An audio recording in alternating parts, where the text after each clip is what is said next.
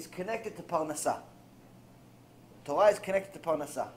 There was a couple of times throughout history where Am Yisrael was very rich, but not rich in a sense where they were millionaires only. Rich in a sense where they had everything they wanted without working at all. When was it? When they learned Torah nonstop. In the desert, all they did is learn Torah. Second time was with King Chizkiyahu. King Chizkiyahu made a uh, decree. He put the sword down and he said, please. He put the sword down and he said, everyone must learn Torah from now on. Whoever doesn't learn Torah, I'm going to use the sword on him. I'm going to kill him. So it got to a point where even the six-year-old little babies all knew the entire Mishnah by heart. Little babies knew the entire Mishnah by heart. Today, adults don't know half the Mishnah by heart. They little babies knew the Mishnah by heart. So, Moshe Rabbeinu is telling them, He gave you man. He gave you Torah. If you learn Torah, Hashem is going to give you Parnasah. You don't learn Torah, whatever Parnasah you get, it's going to be very difficult. There's plenty of people that make a lot of money, but it's hard money. Meaning, it's tough for them to earn it. They work really, really hard. They work overtime. The job is hard.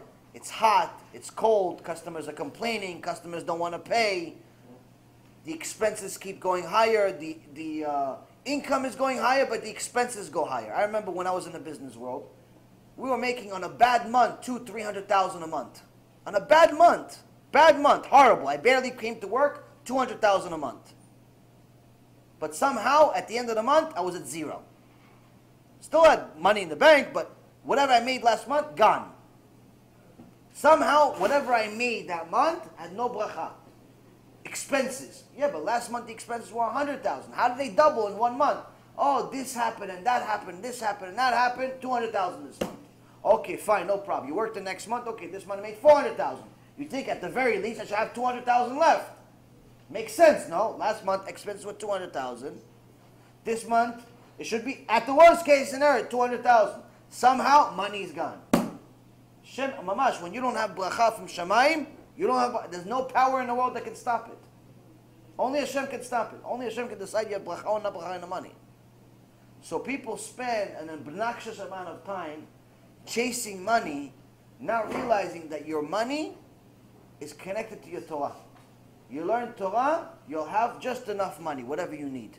You don't learn Torah, it doesn't matter how much you work. Doesn't matter how much you work. No bracha in your money. No bracha, amen. No bracha in your money. And I'm not telling you for somebody who didn't have money. Everybody knows I have plenty of money in my life. So, somebody tells you a lot of things about money, but they never had money. It's worthless. Somebody had plenty of money. I'm telling you, you don't have no bracha in your money, take it, katub. It's written, signature. So, now you have a situation here where Moshe Rabbeinu says, look, he gave you manna. He gave you Egypt was begging for you to leave. He gave you a cloud you could walk on. You didn't have to get tired. He gave you a cloud to bathe you. Didn't have to take a shower. You didn't have to change your clothes for 40 years, brand new, like you bought it from the store, with the tag on it and everything. Everything brand new. You wanted light, you didn't even have to pay electric bill. There's a pillar of fire. There's a pillar of fire. Man, you want to read the book? Anytime at night you can read it. You don't want to read the book, go to sleep. The pillar of fire doesn't affect you. Everything you wanted, he gave you. He said, go to the blessed land, the land of milk and honey. And he didn't have emunah. All of a sudden you lost your emunah. He gave us everything, but this, no, no, it's too much. What is this like? What is this like? It's like us. This is exactly like us.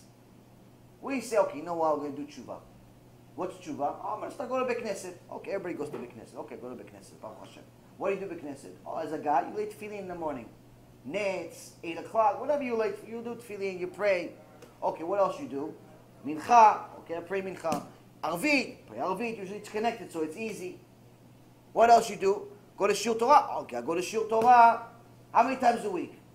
Once? Okay, I'll go once. If you could go five times, you should go five times. But if you have once, I'll go once. Fine, I'll go shiur Torah. Get married? Okay, get married. Have kids? Okay, have kids.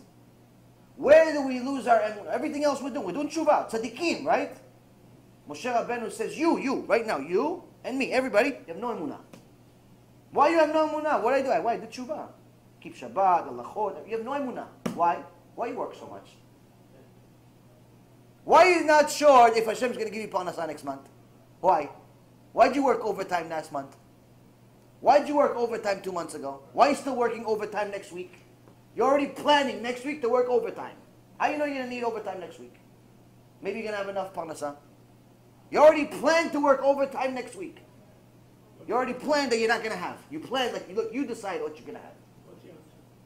The answer is, parnasah is connected to your Torah. You learn Torah, Hashem will provide parnasah. You don't learn Torah, Hashem's not going to provide parnasah. But the problem here is, is that when you don't have the trust that He's going to do His end of the deal, He doesn't do it. Says, "Oh, you didn't trust me? Okay, go ahead, you do it then." If you don't trust Him to do His end of the deal, that usually means you're not going to do your end of the deal. You're not going to learn Torah. You're going to say, "No, listen, I don't have time to learn Torah. I got to go work." If Hashem wanted me to have money, He'd already sent it to me. You want Hashem to work on your time, on your schedule. So Moshe Rabbeinu says, He gave you man, He gave you Mitzrayim, He gave you this, He gave you this, but when it came to the land, when it came to money, He said, no, no, no. He ran out of money. He spent all of his money. He doesn't have any money. Hashem spent all of his money, create, used all the money to build the world. Then he had to create it. So an unnecessary, unexpected expense had to come up. He had to build the world again. Construction companies, titles, city searched. He had to create the world twice. He didn't only create it once. He ran out of money. So everybody thinks God is broke. He says, you have no emunah. You have emunah for him to give you eyes? Yes. You have emunah for him to give you a wife? Yes. You have emunah for him to give you air to breathe? Yes. But money? Nothing. Nobody has emunah that Hashem has money. It's the most ridiculous thing in the world. Mamash ridiculous. Everything else you trust Hashem. You ask a guy, you to get married? Yeah, of course. How you know you're to find a wife? Bezat Hashem. You to have kids? Yeah, of course I'm to have kids. How you know you're to have kids? Bezat Hashem. You going to get a job? Of course I'm going to get a job. How you know you're going to get a job? Bezat Hashem. You're going to go do this? You're going to do that? Yeah, of course, Bezat Hashem. You're going to go shiur Torah? Ah, bli neder, bli neder. Bli neder. I don't want to promise. Why? I got to work. What do you mean? This God that you trusted to give you a wife, to give you kids, to give you avodah, to give you this, to give you this, you're not, you don't trust him to give you money so you go learn Torah? Everything else you trust him to give you wife, to give you kids, to give you eyes, to give you ears, to give you food, to give you everything else you trust him except to give you money. Money he doesn't have. He broke. You need to help him. You need to go get a second job. Moshe Rabbeinu is saying you have no emunah. Why you don't have emunah? Well, it's one thing you didn't listen. One thing, you don't have emunah in one thing, it's poison for the rest of it.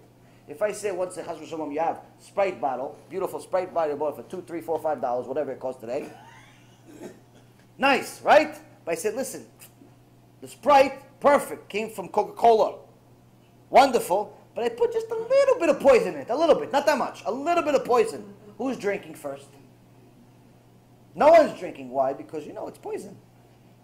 That's what Moshe Rabbeinu is saying. Moshe Rabbeinu is saying, he's not saying, you're Reshaim, you're, no. He's saying you had no emunah. Why you don't have emunah? Because that emunah that's fragmented, that's broken, that's not a reliable emunah, in one place destroys everything else. Destroys everything else, makes everything else stinky.